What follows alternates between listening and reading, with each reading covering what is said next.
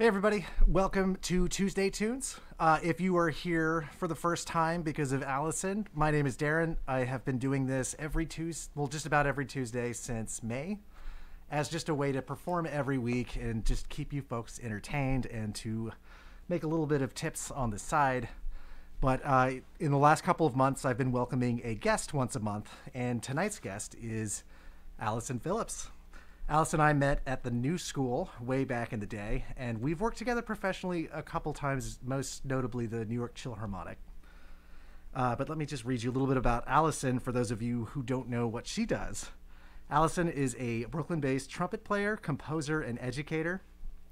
Jazz Scene has called the Allison Philips Trio an invigorating list on that probes, as Ornette Coleman did, the line between song and sonic exploration. The group released their first EP in 2017 and will be releasing their first album, Placement and Logging, in 2021. And we're doing quite a few tunes from that record that has not been released yet.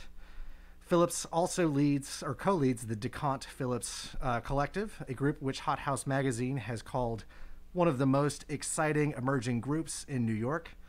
And the Allison Philips Trio and the DeCont Philips Collective have toured domestically throughout Europe and Canada, and I'm really happy to have her on. So we're going to bring her out in just a second. Happy Tuesday, everybody.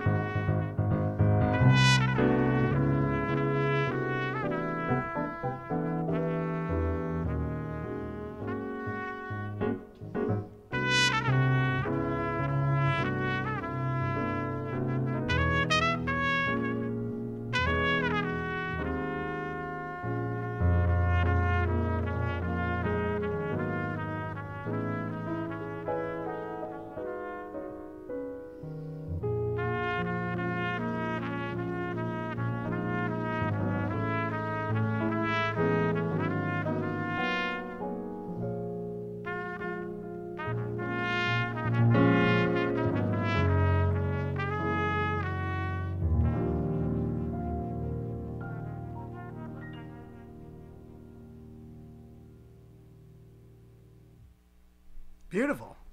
Beautiful. It's been a lot of fun learning all this music and listening to this record that isn't out yet. Uh, I feel like very privileged to be able to hear it before it comes out. Um, anyway, there's there's a lot that we can talk about, Sure. and uh, thanks you so much for being here. Thanks for having me. It's Yeah. so nice to see Lovely. people than I usually see. I know it, it's it's just so fun to be able to play with other people in this time. Uh, but let's let's talk. So you are originally from New Jersey. Yes. Uh, remind me again, South Orange. Is that South what you said? Orange, yeah. Cool. I, I know very little about New Jersey, but uh, so why? I New York City seems kind of like an obvious uh, original move, right? for sure. Because it's it's close to home. It's across the river. Yeah. I don't know if it really had to do with being close to home, but like, I guess I started doing. I started taking lessons, private lessons with Tatum Greenblatt Oh, okay. when I was in middle school. Oh, wow.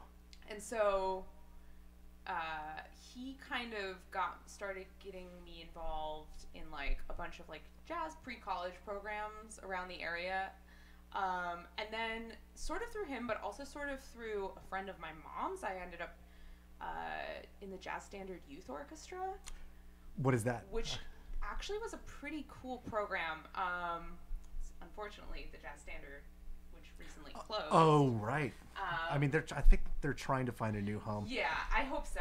But that uh, that program was really unique in the sense that you basically played a brunch set every Sunday. Oh, that's very Standard, cool. Yeah, yeah.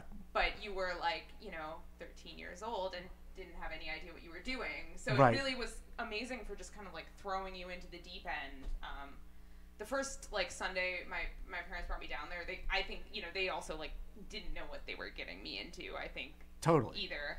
Um, I didn't even know what a form was. So it was like. Well, yeah, thirteen. Yeah. Yeah.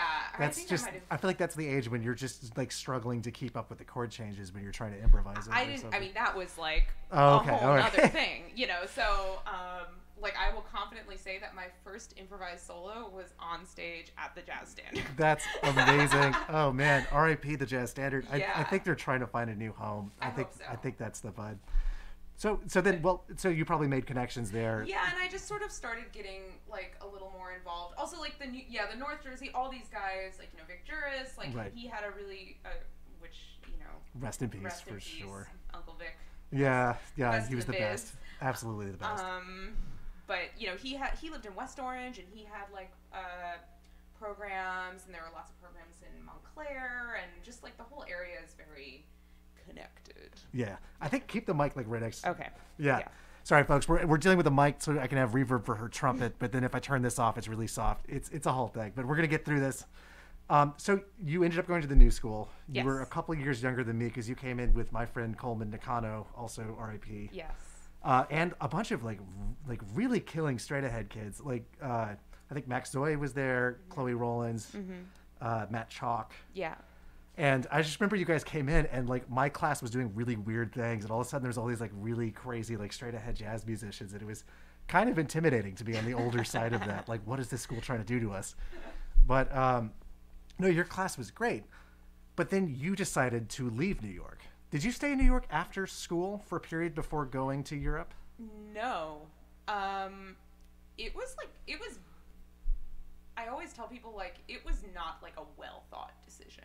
It was very, very spur of the moment. Um, while I was at New School, I was really fortunate to study with Laurie Frink for a couple of years. Who I don't know if you're I- I'm familiar. not not familiar with. Laurie Frink was like the trumpet guru, um, basically for like 30 years in New York City. Like literally every trumpet player and brass players as well um, took lessons with her. That's like like anyone of note in the past 30 years has studied. With Oh, very Frink cool. At some point. Very cool. Um, It's kind of funny how there's there's teachers like that who aren't necessarily famous for playing, but Totally. just like teach everyone. she's someone who wasn't really known. She wasn't known really at all as an improviser, but a, a super strong section player. She played in the Maria Schneider Oh, okay, band for okay, okay. years, and she was, uh, I think, in the studio. You know, in like the big studio heydays of the '80s and '90s. Right, right, right. Uh, worked a lot, um, but she was a teacher, um, and she also, man, all these people passed away. She unfortunately passed away. I think our junior year or my Yeah. junior year at the Okay. school.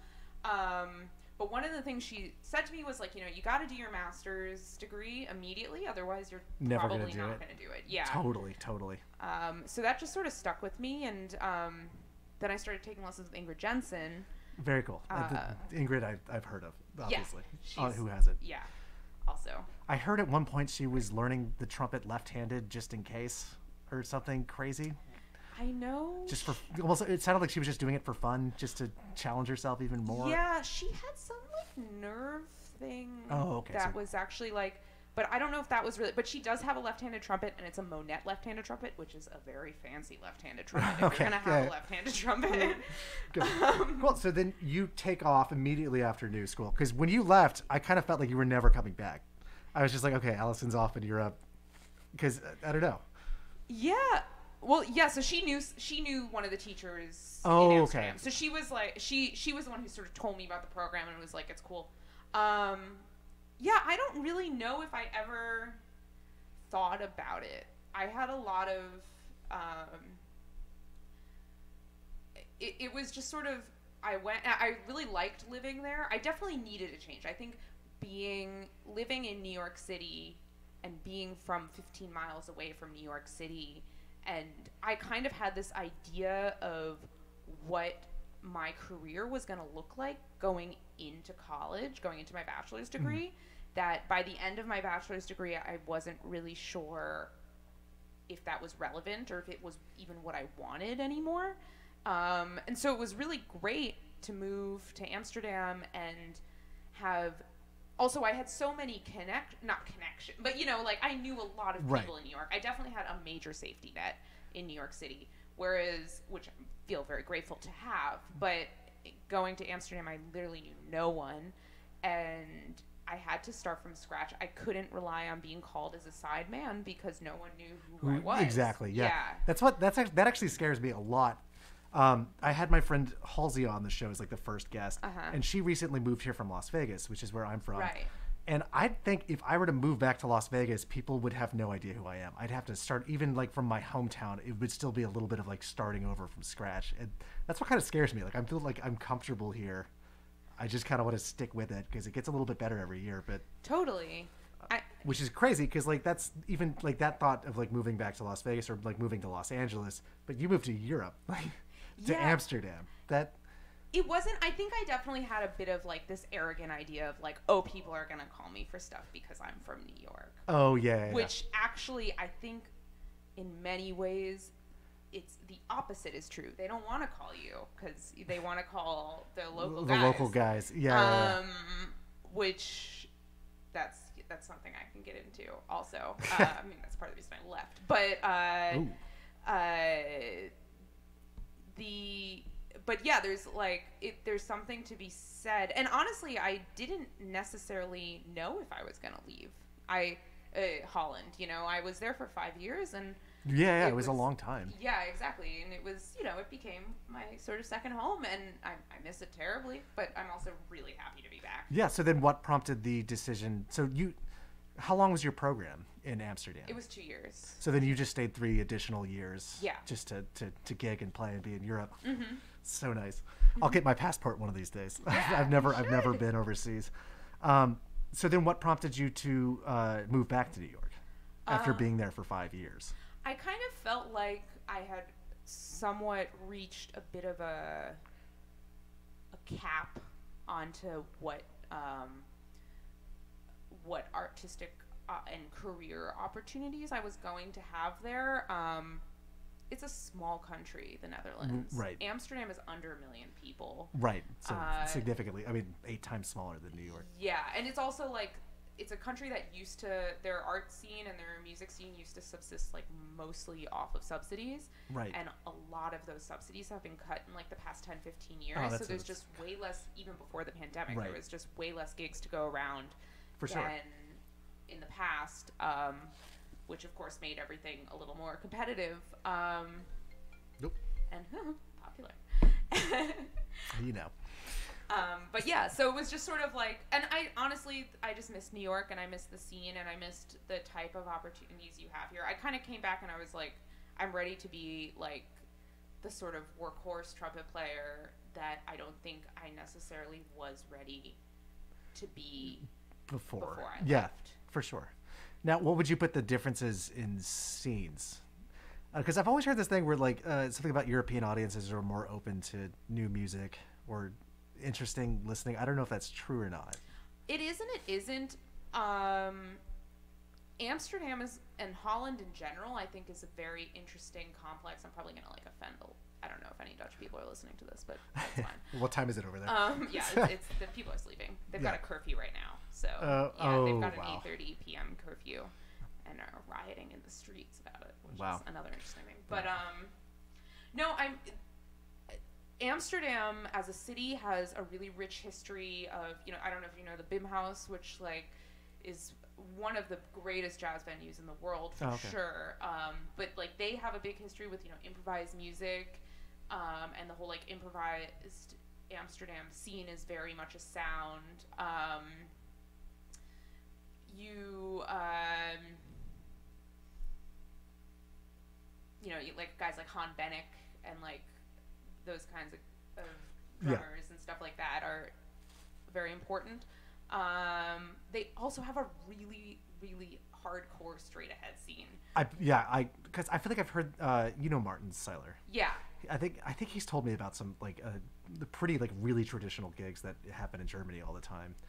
Uh, so I, I guess like we, we don't really have that, do we? I mean, there there is like the the trad jazz community in town. Well, it's not But- necessarily trad jazz, but it's it's hard to explain. But for example, like Dick Oatts does really well in Amsterdam. Oh, okay. Dick Oatts is in Amsterdam multiple times a year. Dick Oatts is great, but like Fabulous, yeah. um, uh, as does um, what's his name, a guitar player that I am blanking on the name of. But yeah, so it's like it's funny because on the one hand there is a bit more integration between like the super super straight ahead hard bop uh, or like new bop, whatever you want to call it, cats as they say, um, and the free improvisers there. But then there's also a very it's it's also very much segregated. Yeah, yeah. Um, it's also like the whitest jazz scene I've ever seen. Well, it is yeah Europe, I guess. Yeah, but it's crazy because like Holland is a freaking diverse country, so the fact that it is as white